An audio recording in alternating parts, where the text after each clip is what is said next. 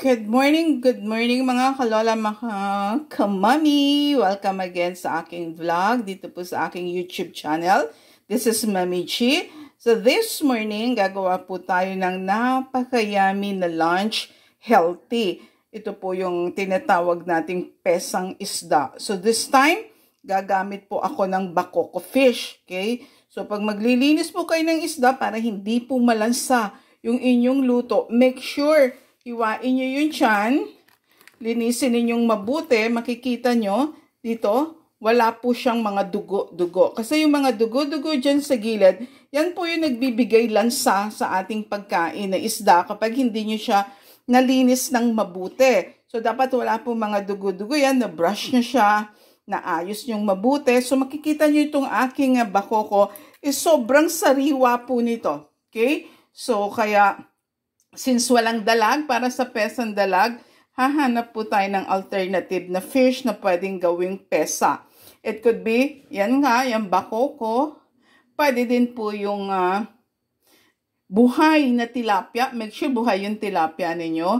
At yung lapu-lapu. No? Lapu-lapu po ang uh, inyong pwedeng ipesa. Yan tatlong isda na yan. Pwede nyo yung ipesa. So, ito po yung ating gagamitin. And syempre, meron tayo diyang sayote, meron tayong repolyo at Tagalog pechay. Pwede din lagyan niyan ng uh, patatas if you want. Green beans, yan, para mas marami yung gulay ninyo, mas, mas masarap. Pwede nyo rin lagyan niyan ng leeks or uh, sibuyas na mura kung mayroon kayo. Okay, so madali lang naman po ang proseso ng uh, pesang isda. Siyempre, ang sabaw nyo dyan ay ang ating hugas bigas. Okay? So, igigisa nyo lang yan sa maraming luya, sibuyas, bawang. So, pag nagisa nyo na yan, lagay nyo yung fish, and then lagay nyo yung hugas bigas ninyo bilang sabaw, bilang soup.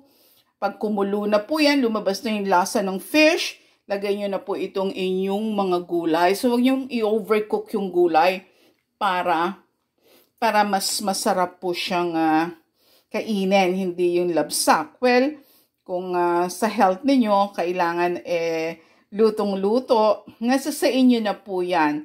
Nasa sa inyo na po kung gustong lutong-luto yung gulay o hindi. Pero para sa akin, gusto ko lang po half-cook yung gulay. Okay? So, yan po yung ating bakoko na pesa. Pesang bakoko ang atin pong gagawin for this lunch. So, actually, napakasarap po ng pesang, ng pesang isda. Okay? So, kung may mga isda kayo, wag nyo lang basta ito ipirito or wag nyo lang basta ipaksiyo. I-level up nyo po yung inyong isda. So, pwede nyo po yung gawing pesa. Okay? At maraming makakakain.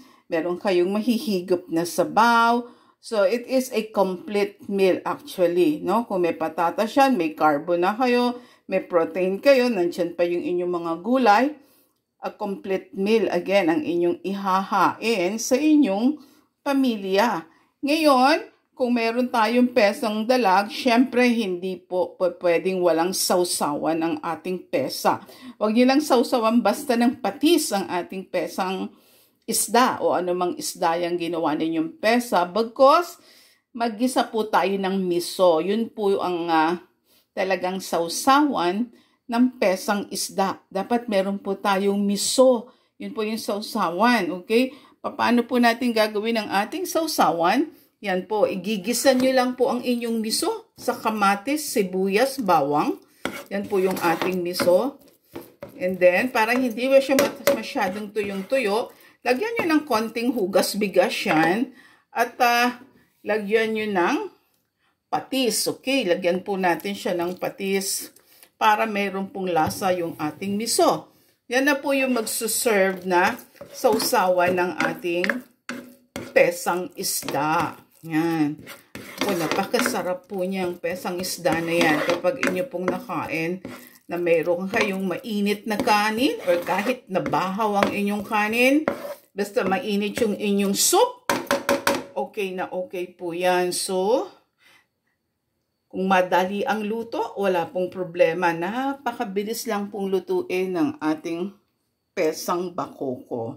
Okay, so yan po ang aking ma-share sa inyo sa tanghaling ito na pwede nyo pong uh, lutuin kung wala kayong naiisip na ulam para bukas. So, try nyo po ang pesa, ang pesang isda. Kung ano mga isda meron kayo dyan, pwede din. Kung meron kayo malalaking asuhos, instead na itinola nyo yung malalaking asuhos, pwede nyo rin pong gawing pesa. Mas marami pong makakakain, lalo kung marami po kayong anak na pinapakain o marami kayong miyembro ng pamilya, masasatisfy na po sila sa sabaw pa lang, sabi nga, ulam na.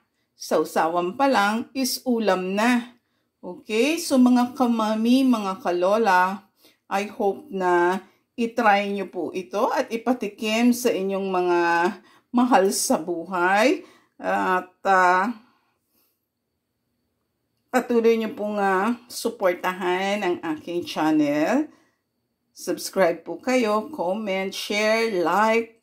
Kung meron po kayong gustong itanong, then po sa comment box, pwede niyo pong uh, itanong at sasagutin po natin ang inyong mga katanungan kung ano man ng tanong nyo sa ating recipe for today or menu for today. So maraming marami pong salamat sa inyong lahat and uh, As always, keep safe, happy cooking, and uh, God bless you all. So maraming maraming pong salamat. This is Mami G. Bye for now. Happy cooking and happy eating everyone.